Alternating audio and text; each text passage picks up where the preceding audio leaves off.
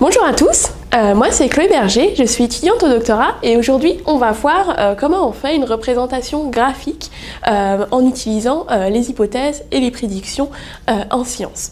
Donc moi j'ai réalisé mon bac en biologie à l'université Laval et durant mes études ça m'est arrivé de me retrouver face à des examens où il fallait faire des représentations graphiques et je sais que ce genre de questions peut être particulièrement sensible. Donc aujourd'hui on va voir les astuces pour réaliser euh, un graphique de manière efficace. Donc pour commencer, dans un premier temps, nous allons voir euh, les définitions euh, importantes avant de réaliser un graphique. la science commence par une observation. Suite à cette observation, on émet une hypothèse qui suggère une explication falsifiable et testable pour ce phénomène. Donc cette hypothèse, elle doit refléter les connaissances biologiques et on propose ensuite des prédictions claires et testables pour, qui vont en fait découler de l'hypothèse. L'hypothèse et les prédictions sont donc clairement différenciées. Prenons un exemple fictif pour illustrer euh, les notions d'observation, hypothèse et prédiction. Dans le cas d'une lampe, je peux faire euh, l'observation que ma lampe de poche ne fonctionne plus. Mon hypothèse va être que la batterie de la lampe euh, est morte. Euh, la prédiction va donc être de remplacer la batterie par une œuvre, ce qui va résulter en une lampe de poche qui va fonctionner. Donc vous voyez ici que la prédiction indique ce qu'on devrait trouver avec une méthode donnée, ici une manipulation. Donc si on représente graphiquement l'exemple de notre lampe de poche, on va représenter l'intensité lumineuse en fonction de notre traitement. Donc intensité lumineuse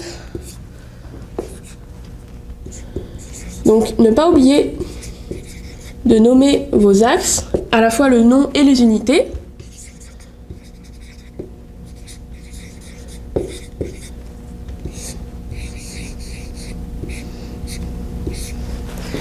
En fonction du traitement, donc notre traitement, avant et après avoir euh, remplacé euh, la batterie.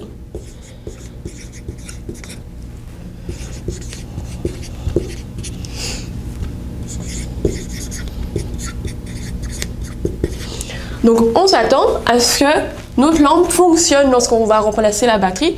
Donc l'intensité lumineuse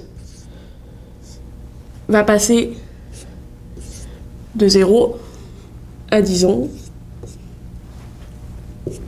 100. Si on obtient ce résultat suite à notre expérience, eh ben on peut dire que ce résultat euh, va soutenir notre hypothèse ou va appuyer notre hypothèse.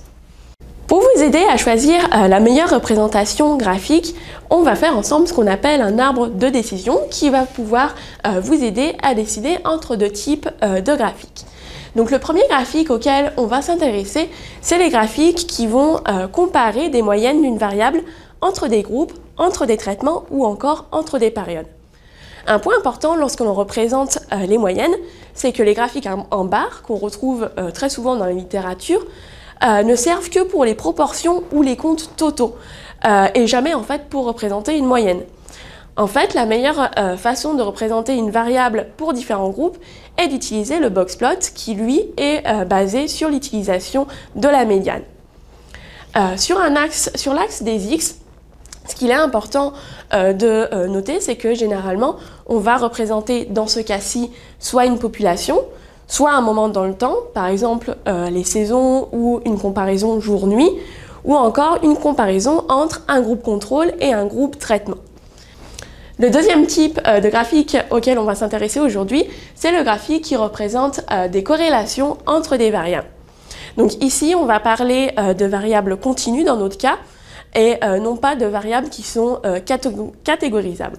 Donc avant de voir quelques exemples de graphiques, j'aimerais vous rappeler euh, quelques points importants à se rappeler lorsqu'on réalise des représentations graphiques. Tout d'abord, c'est important de différencier, de noter les variables dépendantes et les variables indépendantes. Également, tel que dit précédemment, c'est important d'identifier les variables sur chaque axe en incluant leur unité. En ce qui concerne euh, les chiffres significatifs, il faut utiliser un nombre approprié. Donc il ne faut pas utiliser trop de chiffres significatifs, ni pas assez. Euh, également, si l'axe Y ne commence pas par 0, un symbole doit l'indiquer clairement. Par exemple, une représentation qui est souvent utilisée, c'est de réaliser une coupure dans l'axe du Y. Et finalement, si plus d'un groupe est présenté sur le graphique, utilisez des symboles faciles à différencier et ajouter une légende au graphique. Donc on va s'intéresser à un premier exemple euh, pour euh, des comparaisons de moyenne. Donc on va s'intéresser au cas de euh, deux populations. Si on étudie la réponse à l'hypoxie des guanacos, qui sont des mammifères de la famille du lama qui vivent en altitude ou au niveau de la mer, eh bien on peut quantifier la quantité d'hémoglobine dans le sang entre les individus qui vivent en basse altitude, où il y a assez d'oxygène, et ceux qui vivent en haute altitude, où euh, dans ce cas-ci, on a accès à moins d'oxygène. Donc, dans ce cas-ci, si on fait la représentation graphique, sur l'axe des, X qu'on va euh, placer, c'est la population. Donc, on a la population qui se retrouve en basse altitude,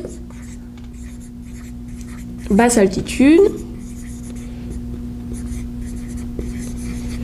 la population qui se retrouve en haute altitude.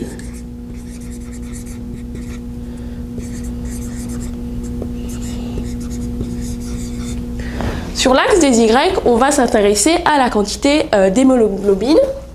Donc quantité d'hémoglobine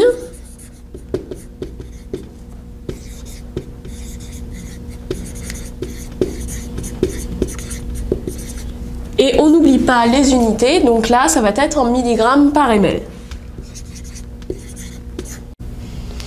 Donc notre prédiction est que dans la population de haute altitude, la quantité d'hémoglobine va être plus importante par rapport à la population qu'on retrouve en basse altitude. Donc si on représente ça graphiquement à l'aide d'un boxplot, cela donne ceci. Donc comme je l'ai dit précédemment, le boxplot est euh, basé sur l'utilisation de la médiane. Et dans la population de haute altitude, on s'attend à avoir une médiane qui va être plus importante. Donc le premier exemple était basé euh, sur euh, des comparaisons entre deux populations. Ici, on va voir un deuxième exemple qui est basé euh, sur une comparaison au sein même d'un individu. Si on baisse la quantité d'oxygène disponible dans l'air qu'un humain respire, il y a une réponse physiologique. En fait, on peut mesurer le même individu avant et après un traitement en laboratoire. Donc sur l'axe d'XX, euh, ce qu'on va retrouver, euh, c'est le même individu, mais en condition contrôle ou après le traitement. Donc le premier, c'est la condition contrôle, avec un E en français. Puis ensuite, c'est le traitement qu'on a effectué sur l'individu. Sur l'axe des Y, on va représenter euh, le taux de ventilation euh, qui s'exprime en nombre de respirations par minute. Donc taux de ventilation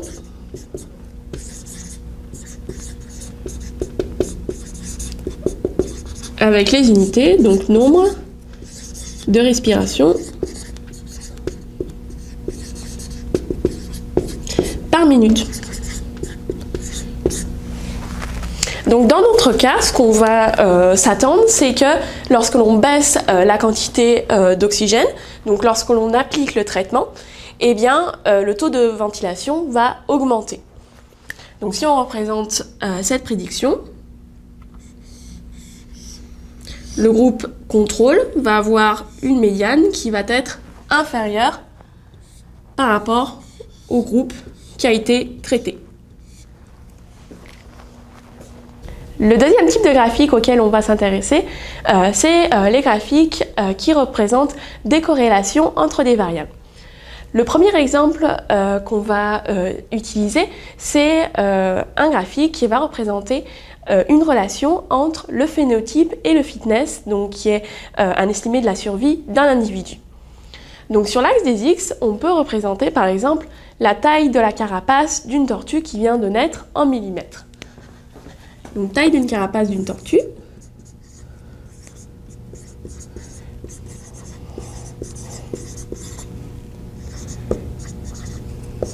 Donc une juvénile qui vient de naître. Les unités, euh, la carapace, elle se mesure en millimètres. Et sur l'axe des Y, on va voir le fitness, donc un estimé de la survie,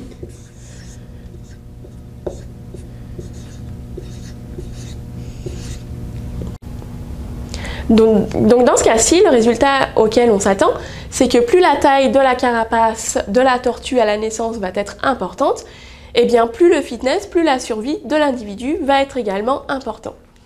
Ce qui se représente ici graphiquement par une corrélation positive. Donc voilà, c'est tout ce que j'avais à vous dire euh, pour aujourd'hui. Euh, si durant un examen, vous avez encore de la difficulté euh, à distinguer observation, hypothèse, prédiction, bah pensez à l'exemple de la lampe de poche ou encore aux différents exemples qu'on a vus aujourd'hui. Et je vous souhaite une bonne continuation dans vos études.